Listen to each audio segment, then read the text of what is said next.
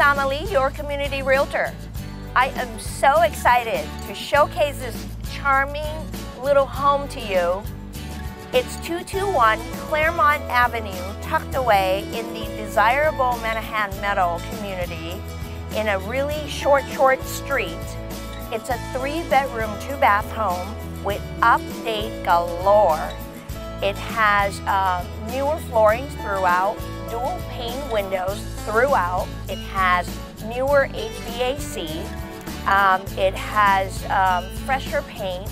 A lot of updates have been done in the last six years. So you're gonna love what you see inside and it feels bigger inside once you step in. Oh, and the master bedroom is updated as well. Come on in.